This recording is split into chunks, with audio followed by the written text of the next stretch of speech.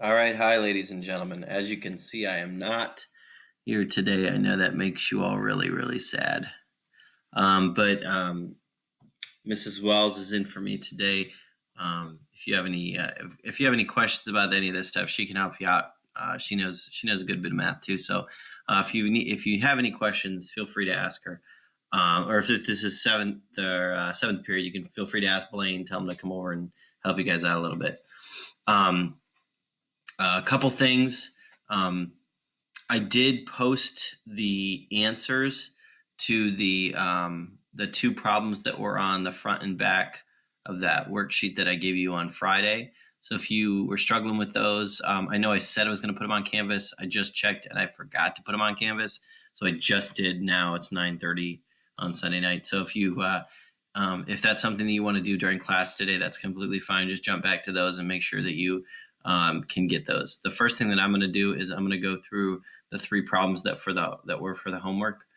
Uh, uh, so um, hopefully we can start to get a handle on those three by three systems. All right. Um, so let's just kind of go through those three problems real quick. Here's number eight. Here's number eight. So here are my three equations, and I'm just going to talk through the answers so, you, so you can see.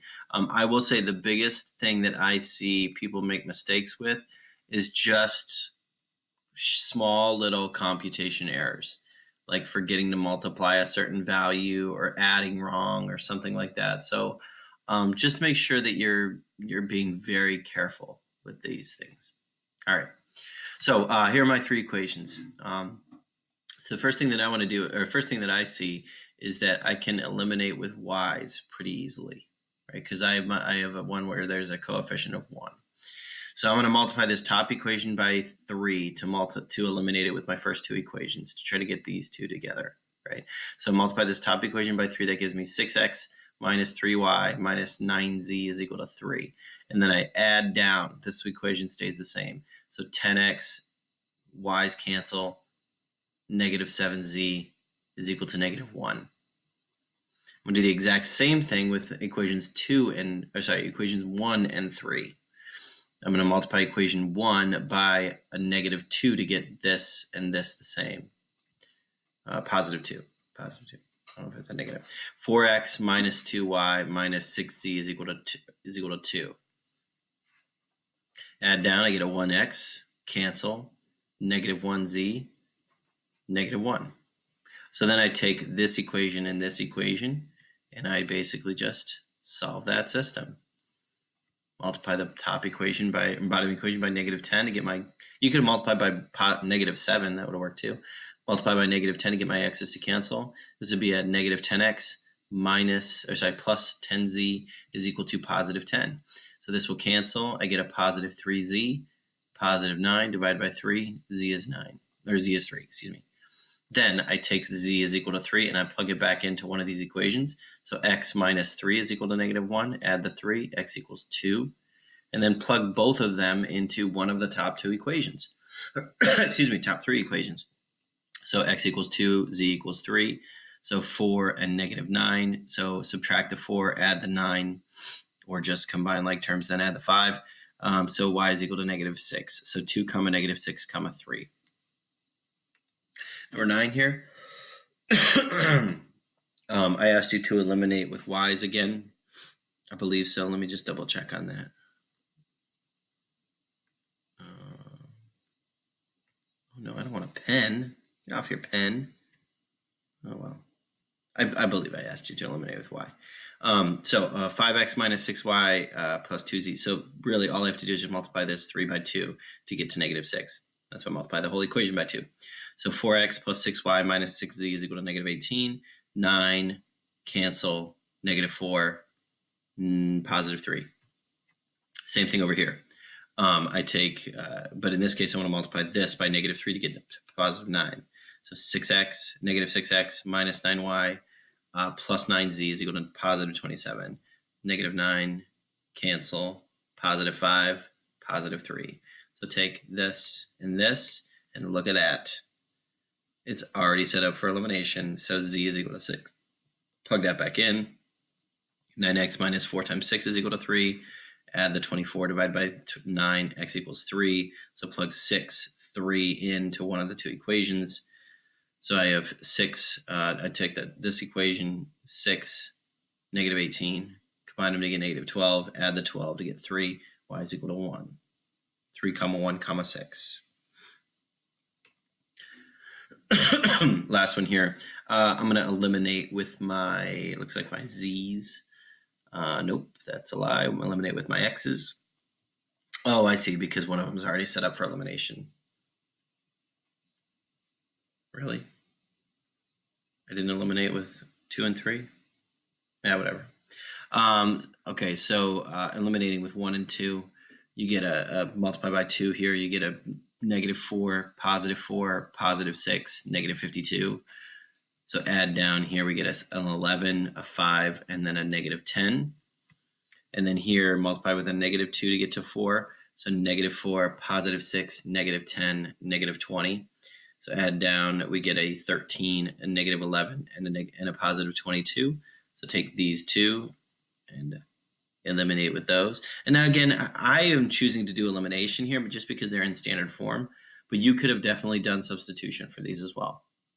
So multiply the top by 11, the bottom by 5. You see what we get here.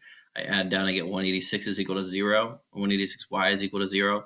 I divide by 186, and y equals 0. Remember, 0 divided by any number, especially 186, is 0. So plug 0 back in. z is equal to negative 2. Plug negative 2 and 0 in, and I get x equals 10. All right. Now, so we're now jumping into um, the good part of chapter four. So, like that was just section three six. I know it seems weird that we covered three by three systems in sec in chapter four, but um, I will teach you. I taught you the uh, substitute, the elimination method to solving those three by threes, and by the end of this chapter, I'll teach you uh, something to solve those in, in, involving matrices, and then you'll hate me for all of the work that you've done. You'll want to you'll want to punch me in the face because it's a lot easier. Um, I'm really bummed that I have to miss this day because this is your introduction into matrices, and matrices is like one of the coolest topics of the year. So that makes me really sad that I'm not there with you guys, but I'm there in spirit. So hopefully you just you enjoy it and just say like, "Wow, Mr. Laverick, you're doing this is awesome," and we'll talk about it tomorrow, I guess.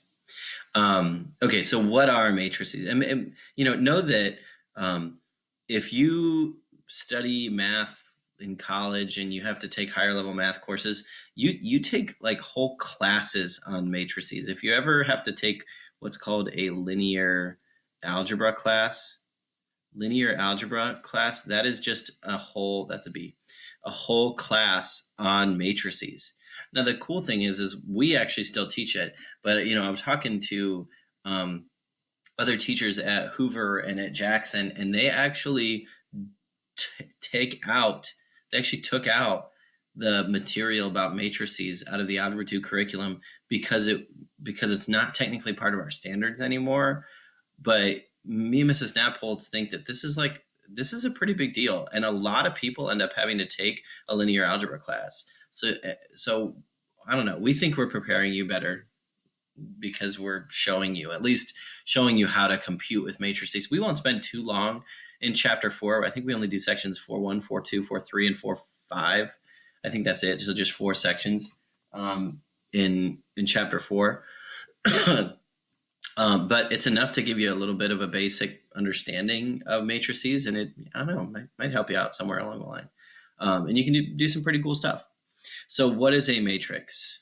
Well, a matrix is just a rectangular array of numbers. That's really all it is. If you've typed in an Excel sheet, you've made a matrix. That's really it. It's just a rectangular array of numbers. That, that word array is just a fancy way to say grouping. It's just a rectangular grouping of numbers. Um, you know, if if you've ever used Excel, you have done a matrix. You just haven't really understood it as a matrix. Um, but it's just basically just a way to group numbers so that you can do some cool computations with them. Okay, so let's talk about them. So this is an example of a matrix. Um, this matrix A down here has uh, two rows and three columns. A matrix with m rows and n columns has dimensions m by n. So like this this matrix down here is a we would call that a two by three matrix. Two rows, three columns. It's always row then column. Um, so it's a we would call this a two by three matrix. Two rows, three columns. Remember, rows go side to side, columns go up and down. Okay. Uh, dimension, uh, sorry, each value in a matrix is called an entry of that matrix. So this this matrix has six entries because it has two, two rows and three columns. Entry one, uh, this, well, we'll talk about addresses in a second, but there's one, two, three, four, five, six um, entries in a matrix. Okay, in, in this matrix A with two rows and three columns. Um, oops, got too far down there. Um, the address of an entry is the location in a matrix. It's the location. So like if I want to say, if I want to say something about a specific entry um, and I want to talk about it, I want to give the address of that entry. So like, for example, like this 16.206 within matrix A, you would say that that is A21. That's how you would read that. You wouldn't say A21. You would say A21. It's usually the lowercase um, version of that matrix letter. And usually matrices are defined by an uppercase letter. Letter. So this is like matrix A, uppercase. And then if I'm talking about the address, I say a lowercase version of that, and then the the, the numbers are written as a subscript. Um, so you would say A21. That's how you'd read that. You wouldn't say A21, you'd say A21. That tells me that this is in matrix A within row two, column one row two, column one. So then you go down here. So I'm on row two, column one, this piece right in there. So, um, you know, if I wanted uh, like this one up here, right, that would be little a, row one, column three, A1, three. That's a three. A1, three. That would be 17.318. This uh, right here, that would be A1, two this down here would be a two, three. You know, there's you could give the address by the lowercase letter and then row, then column, row, then column. All right. So um, just kind of showing you a basic, basic description of a matrix here. The prices for different sandwiches are represented uh, on the right here. So this is just a, just basically a table of values, right? This is really a matrix. That's really all it is. So let's display it in matrix form. So all you're going to do is you're going to make your little brackets. We've got, uh, this is three rows, two columns. So we got 395, uh, 375, 3.5 for 350, 595, 560, 525. And there's my matrix. There it is, representing the prices for these sandwiches. Okay.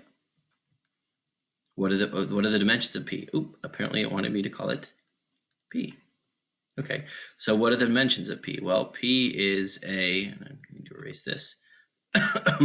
we can call uh, p is a uh, three rows, two columns. P is a three by two matrix, right? Um, when you define when you talk about dimensions, you use the capital version, and then as subscript, you can write the p3 three by two, three x two. Excuse me. Pardon my coughing. Okay. what is entry P32? So I'm assuming that this is a lowercase p. Uh, P32. You wouldn't call that P32. So then let's go up here. Let's okay. P32, that means row 3, column 2. Row 3, column 2, 525. So you would say P32 is five. What did we say? 525? Yeah, 525. I don't know I changed colors. P32 is 525. What is the address of 595? Okay, let's go back here. 595 right here. 595, row 1, column 2. 1, 2. Row 1, column 2. P, row 1, column 2. P1, 2. Okay, so that is the address there. Okay, so just some basics on how we talk about these things. All right, now one of the big goals that we'll talk about here is I want you to know how to do basic operations of matrices. I want you to know how to add, subtract, multiply, and divide matrices. Actually, no, not dividing. Add, subtract, multiply um, matrices. Yeah. And then we'll do some other operations that you don't know what they are yet, but um, we'll do. We'll talk about basic operations of matrices. So today we're going to talk about adding and subtracting. Adding and subtracting is really easy. Multiplying, that's when it can get a little get a little weird. Um, so let's talk about adding subtracting first. Now, um, to add or subtract two matrices, you just add or subtract the corresponding entries. I would go ahead and write this, this piece down in the words. This may look a little weird. So, and we'll do a couple examples. So I wouldn't necessarily write these things down, but I would write this down. To add or subtract two matrices, add or subtract the corresponding entries. Now, that's implying something that's implying something. I guess I can just say that. That's implying something. you can add or subtract two matrices only if they have the same dimensions. Only if they have the same dimensions, because you don't have corresponding entries if they don't have the same dimensions. You know, think about a, a four by four matrix and then a two by two matrix. You know, a four by four has a lot more entries than a two by two. And there's not corresponding entries to go with each one of them. Like these are here. This is a this is a one by two and a one by two right? I have a one and a five, a two and a 10. There's corresponding entries. They have the same address. Okay, you can only add or subtract two matrices if they have the same dimensions. So notice here, two by two plus a two by two. Very good. Um, three by one and a three by one. Good. One by two and a two by one. No good. Uh, one by two and a one by three. No good. It has to have the exact same dimensions. So let's talk about adding or subtracting if possible. Can I take w plus y? Well, this is a 2 by 2, and this is a 2 by 2. So yes, I can add these matrices. So let's do it. Let's add or let's add these matrices. so a 2 by 2 plus a 2 by 2 will yield another 2 by 2 because they have to have the same dimensions to get the same um, to get the to have corresponding entries. So I'm gonna have a two by two plus a two by two equaling another two by two. So I'm gonna take a three plus a one, four. I'm gonna take a two, or sorry, excuse me, negative two plus a four to get a positive two. I'm gonna take a one and a negative two to get a negative one. I'm gonna take a zero plus a three to get a three. And there's my answer. Simple as that. Okay. Um, you know, remember what you're doing there you know the formal definition of adding or subtracting is just basically taking the adding or subtracting all entries with the same address. So this is like w11 you add it with y11 you take w12 add it with y12 everybody that has the same address gets added together right? We just say take the corresponding ones and add them together. Okay let's see here can I add X and Y? Nope. This is a uh, two rows, three columns. Two by three plus a two by two. No. Have to have the same dimensions.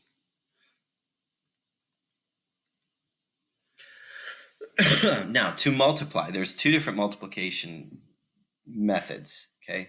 There's one um, where you just multiply a number, and then one where you multiply two matrices together.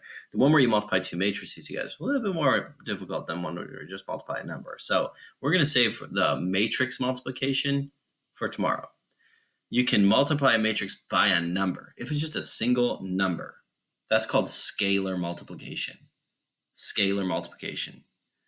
Okay, to find the product of a scalar and a matrix or the scalar product, you multiply each entry by the scalar. So if I'm saying, you know, I want to take four times the entire matrix, right?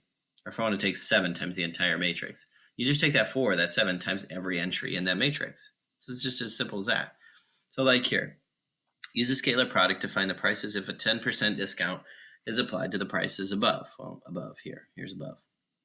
Okay, so what I'm going to do here is I'm going to take this matrix. I'm going to take those um, those shirt prices and sweatshirt prices. This is 7.5, this is 8, this is 9 and 10, and this is 15, 17.5, 20, 22.5.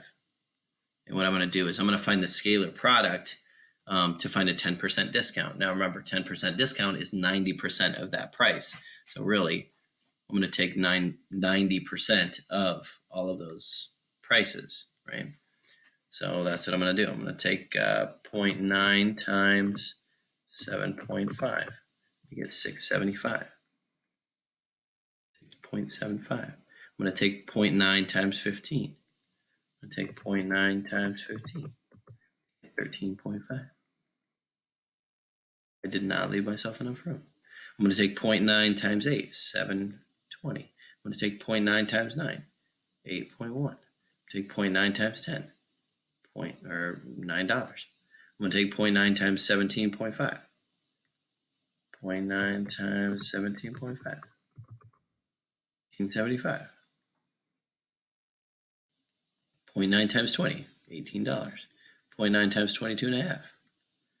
0.9 times 22 and a half. 2025. 20.25.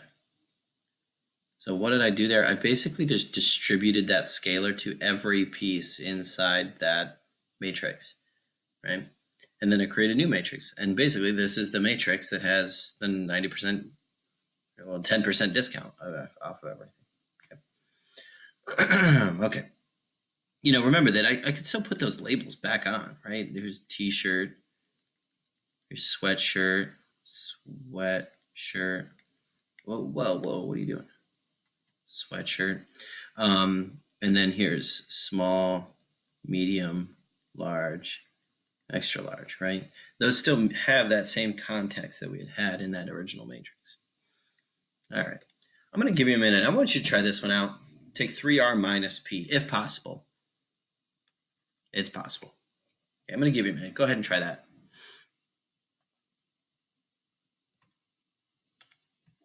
Okay, take 3r minus p. So 3 times my matrix r. 1, negative 2, 0, 4, 3, 4, minus p. 3, 1, 2, negative 2, 0, negative 1. All right. so first thing I'm going to do is find 3r.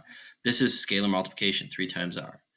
3, negative 6, 0, 12, 9, 12, minus 3, 1, 2, negative 2, 0, 1. Okay, now I'm just going to subtract corresponding entries. 3 minus 3, 0. Negative 6 minus 1, negative 7. 0 minus 2, negative 2. 12 minus negative 2, 14. 9 minus 0, 9. 12 minus 1, 11. That's a 14 up here. 14. All right, so hopefully this was an interesting lesson. Tomorrow we'll work on actually matrix multiplication. Um, but yeah, this was just a quick overview of basics of matrices. Hope you enjoyed. If you liked, um, hit the subscribe button down below. Like and subscribe. My wife is looking at me like I'm a crazy person.